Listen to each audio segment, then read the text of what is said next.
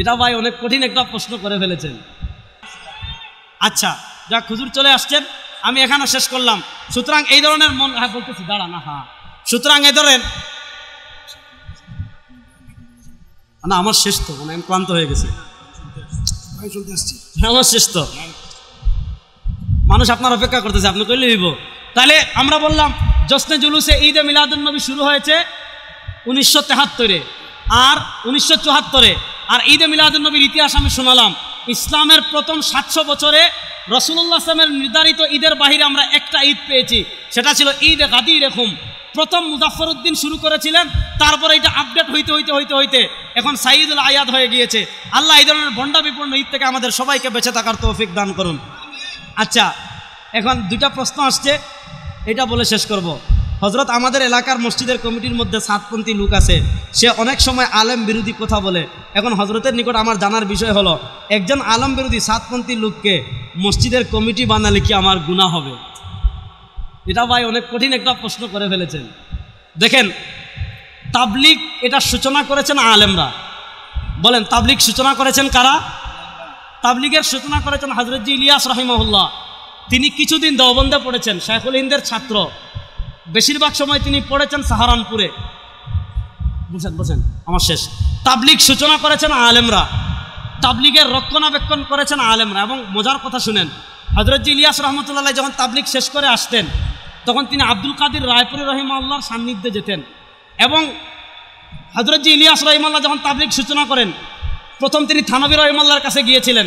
থানবী রহিমাল্লাহ বলেছেন, একটা জামাত নিয়ে আমার মসজিদে আসেন, আমি কার্যক্রম দেখি। প্রথম যখন ইজতেমা হয়েছিল, ওই ইজতেমা হুসেন আহমদ মাদানী রহিমাল্লাহকে নিয়েছিলেন। তাবলিগ সৃষ্টি করেছেন আলেমরা। তাবলিগের রক্ষণাবেক্ষণ করেছেন আলেমরা। তাবলিগের নেশাব লিখেছেন আলেমরা। তাবলিগের উপর যত আপত্তি, সেগুলার জবাব দিয়েছেনও আলেমরা। সুতরাং তাবলিগ তো আলেমদের। তাবলিগ কাদের? আলেম। সাদ সাহেবের সাথে আমাদের ব্যক্তি নিয়েও কোনো দ্বন্দ্ব নাই। উনি আমাদের জায়গা নিয়েও কোনো দ্বন্দ্ব নাই। আমাদের টাকা পয়সা নিয়ে গিয়েছেন, এমনও দ্বন্দ্ব নাই। আমাদের হায় হাদিয়া সব নিয়ে যাচ্ছেন এইরকমও না। সাদ সাহেবের সাথে ইসলামের মৌলিক কিছু বিষয়ের সাথে ইখতলাফ লেগে গেছে। একটা কি? আপনি কোরআনে, আমি আগে আহলে কোরআনের কথা বললাম। আহলে কোরআনেরা কোরআন বুঝে নবীর থেকে বেশি। আর সাহাদ সাহেব তাবলিক বুঝে ফেলেছেন সাহাবি এবং নবীর থেকে বেশি। ওনার একটা মৌলিক সমস্যা হলো কি? উনি উনার একটা দৃষ্টিভঙ্গি প্রতিষ্ঠা করেছেন। এই দৃষ্টিভঙ্গির আলোকে উনি সবাইকে দেখেছেন। ওই দৃষ্টিভঙ্গি দিয়ে উনি ইমামদেরকে সমালোচনা করেছেন, এমনকি খুদ। উনার, উনি মুসা আল ইসলামের সমালোচনা করেছেন। উনি মোহাম্মদুর রসুল্লাহ সাল্লাহ আলী ওসাল্লামের সমালোচনা করেছেন। একটা ঘটনা নিয়ে, যে আল্লাহ নবী সাল্লাহ আলী ওসাল্লাম বলিমা করেছিলেন কেন গুস্ত নিয়ে? যাক ওটা নিয়ে আমি যাচ্ছি না। ওই কিছু বক্তব্যের কারণে প্রথম দারুম দেওবন তার কাছে একটা ফতোয়া পাঠিয়েছে যে আপনি আপনার এ সকল বক্তব্য থেকে ওজাহাত করেন। বুঝবেন প্রধানটা বুঝেন। সাদ সাহেব মোট তিনটা রুজু করছে। প্রথম দারুম দেওবন বলছে, আপনি এগুলা থেকে রুজু করেন। তিনি চিঠি দিয়েছেন যে, আমি হ্যাঁ রুজু করেছি। তবে নিচে এই কথা লিখে দিয়েছেন যে, তবে আমি যদিও রুজু করেছি, তবে আমি যেই কথাগুলো বলেছি, এগুলো আমার কাছে দলিল আছে। আচ্ছা বলেন, রুজু করে কেউ যদি নিচে বলে যে, আমি যা বলেছি, সেগুলোর দলিল আছে, ওটার নাম কি রুজু? পরে দারুম দেওবন আবার বলেছে যে, আবার তার নিঃশর্ত রুজু করেন। তখন তিনি নিঃশর্ত রুজু করেছেন, কিন্তু যেই দিন রুজু করেছেন, ওই দিন ফজরের বয়ানে আবার ওইগুলো বলেছেন। বুঝছেন? তখন দারুম দেওবন বলেছে যে, না, আপনার রুজু হয় নাই। এরপরে গত মাসের আগের মাসে, এখন চলে সেপ্টেম্বর মাস। সেপ্টেম্বরের মাসের আগের মাস, আগস্ট মাস। আগস্ট মাসে দারুম দেওবন সাদ সাহেবের ব্যাপারে একটা তাফসিলি ফতোয়া প্রকাশ করেছে। ওই ফতোয়ার বাংলা অনুবাদ মাসিক আল কাসারে প্রায় তেরো চোদ্দ পৃষ্ঠায় আসছে। এই ফতোয়া পড়লে সাদ সাহেবের সাথে আমাদের এখতলাফ কোথায়? ওইটা বুঝবেন। তো সাদ সাহেবের সাথে এটা এখতলাফ আকিদা কেন্দ্রিক।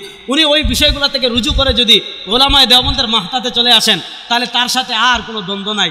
বাকি থাকল সাত কমিটির কোনো লোককে যদি আপনি মসজিদের কমিটিতে নেন গুণা হবে কিনা? শুনেন, মসজিদের কমিটি করা না করা, এগুলো ইবাদত না। কোনো মসজিদে যদি কমিটি না থাকে, কোনো সমস্যা আছে? রসুল্লাহ আসলাম মসজিদে নবী যখন পরিচালনা করেন, মসজিদে নবীর কোনো কমিটি ছিল? হ্যাঁ কমিটি হবে যারা মুত্তাকি। কমিটি হবে যারা আহলুসুন্নাওয়াল জামাতের পরিপূর্ণ অনুসারী। কমিটি হবে যারা নামাজ পড়ে। আমরা কমিটি বানাই কারা? যারা নামাজ পড়ে না হেগরে কমিটির সভাপতি বানাই। ঠিক কিনা? এজন্য কমিটির লোক হবে যারা আল্লাহ বিরু দিনের প্রতি লুক আছে। যদি আপনি তাকে নিয়ে নেন, কোনো কারণে সামাজিক অবস্থা বিবেচনা করে, যদি তাকে কমিটিতে নিয়ে নেন, কোনো আহলে সুন্নাওয়াল জামাতের বাহিরের কাউকে নিয়ে নেন গুণা হবে, এটা তো বলা যাবে না। কারণ মসজিদ ইন্নামাল মাসাজিদ বুনিয়াত ইবাদা। মসজিদ যেমন আমার, মসজিদ তেমন তার, মসজিদ সবার। মসজিদ কোনো পার্থক্য করে না। বাংলাদেশে একটা দল আছে, এরা মসজিদে আলাদা করে। এটা হলো আমাজাবি গোষ্ঠী। দেখেন বাংলাদেশে বিভিন্ন গণনার মসজিদ আছে, মসজিদ সবার। সালাফি নামক একটা মসজিদ, এখন ওই হলো আলাদা। মসজিদ যেহেতু সবার, সুতরাং মসজিদের কার্য নির্বাহী মানে কমিটিতে যদি ভালো মনে করে তাকে নিয়ে নেন গুণা হবে। আমার মনে হয় না এটা কোনো মুফতি বলবে। আমি আমারটা বললাম। আরও বড় মুফতিরা আসছেন ওনারা বলবে ইনশাল্লাহ আমি আমার বুঝটা বললাম। আচ্ছা মাঝে মাঝে মসজিদে হুজুর না থাকলে সে ইমামতি করে। এখন জানার বিষয় হলো, তার পিছনে একটেদা সই হবে কিনা?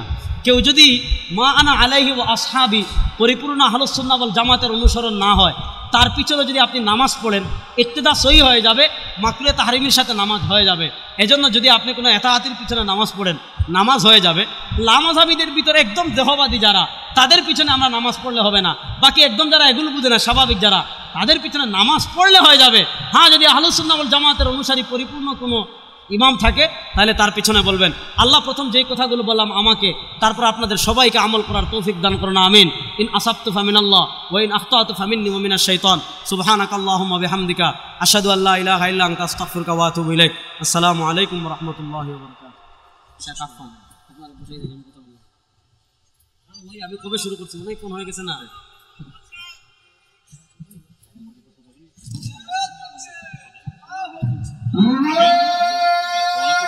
আপনি কতক্ষণ